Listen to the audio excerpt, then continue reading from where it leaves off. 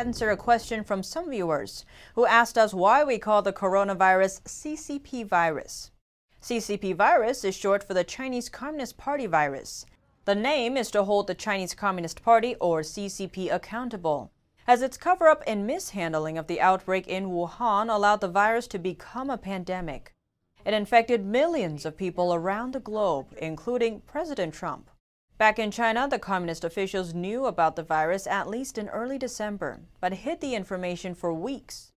Not only that, they also punished doctors who tried to warn others, including Dr. Li Wenliang.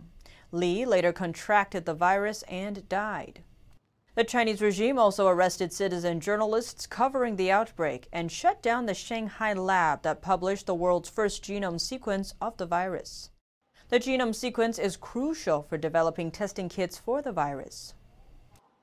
And it's not just about the cover up. The Chinese regime later tried to shift the blame, claiming the virus originated from the United States and Italy. Calling the virus CCP virus reminds people of its true source. It also makes a clear distinction between the Chinese communist regime and the Chinese people, who also are victims of the regime's cover up.